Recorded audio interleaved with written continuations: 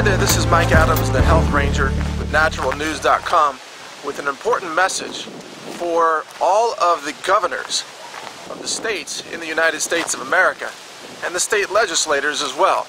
It's an idea called the Health Freedom Zone. Now here's what's happening.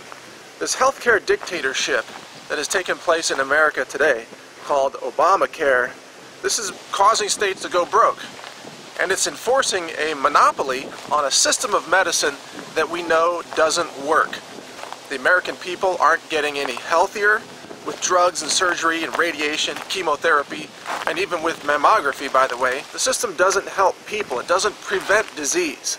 It only treats the symptoms of disease. And it keeps consumers trapped in a lifetime of dependence on a sick care system that doesn't offer them any way out but at the same time it drains the money from your state. It's causing your state to go bankrupt. It's causing the corporations in your state to go bankrupt. So states are going to need a way out. They need a solution that really works. And I've got that solution for you. It's a bold solution. It's called the Health Freedom Zone. And all it means is that your state declares itself to be the place in the United States of America for health freedom. For health freedom practitioners, that's naturopathic doctors who can treat cancer using natural methods. I personally know many such doctors who know how to cure cancer using alternative and natural methods that are very inexpensive, that are highly effective, that are safe, and that have been proven across many thousands of patients those physicians right now have to practice medicine outside the United States.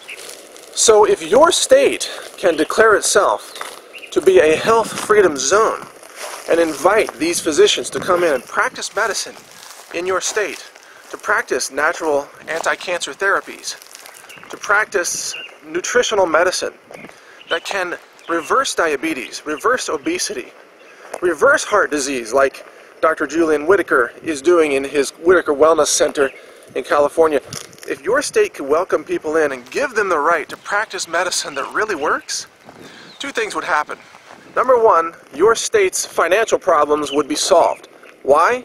Because your state would become the healthcare, the, the natural healthcare, medical tourism mecca for the entire country people would flock to your state from all over the United States and probably even from places like Canada. So that's one thing that would happen. The second thing is that the people of your state would get healthier. Why?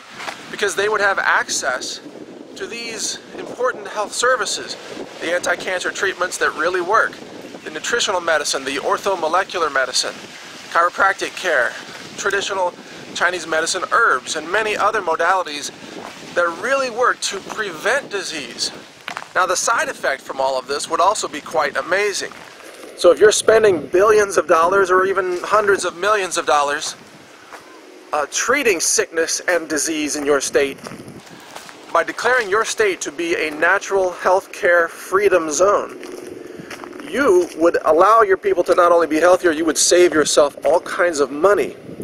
And that's money that your state could use in its general budget to support schools, to, to build roads, to do all the things that you need to do to improve the quality of life of the people in your state. And that in turn would attract more people to your state so that your state becomes a desirable place to live. So instead of cities and towns crumbling and people moving out because quality of life is falling, like you see in Detroit these days, as an example, your cities and towns would begin to attract more people with more people, you have higher property values, you have more economic opportunity, and you have a higher tax base that once again raises your income.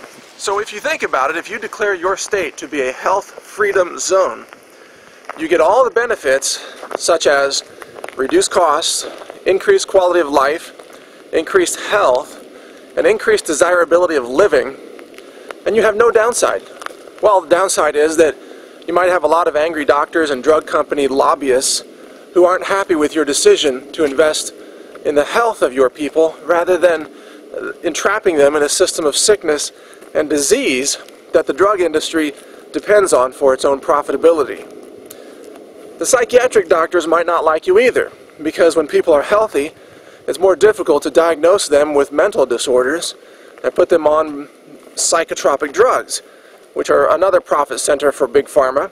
They depend on, on these diagnoses to make all kinds of money. So these are just some of the benefits that you would experience from doing this. There are many other benefits too. Improved happiness, improved fertility, improved longevity among your population, even improved cognitive function so that your workforce, for example, is better at doing its job.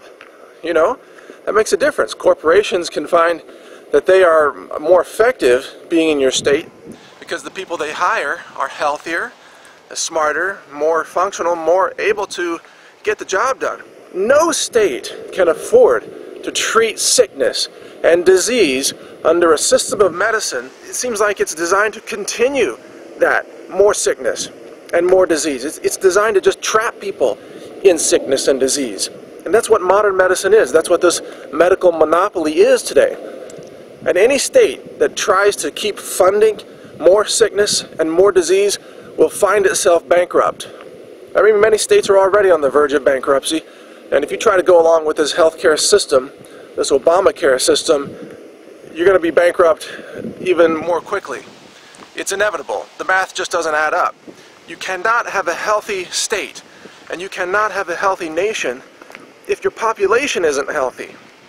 And you can't have a healthy population if they aren't taught how to prevent disease with nutrition and vitamin D and sunlight and exercise and making good decisions at the grocery store, how to be intelligent consumers, how to stop drinking sodas and aspartame and the chemicals that are in the food supply, how to avoid using pharmaceuticals and take care of your health in a natural way, using food as your medicine, using exercise as your medicine.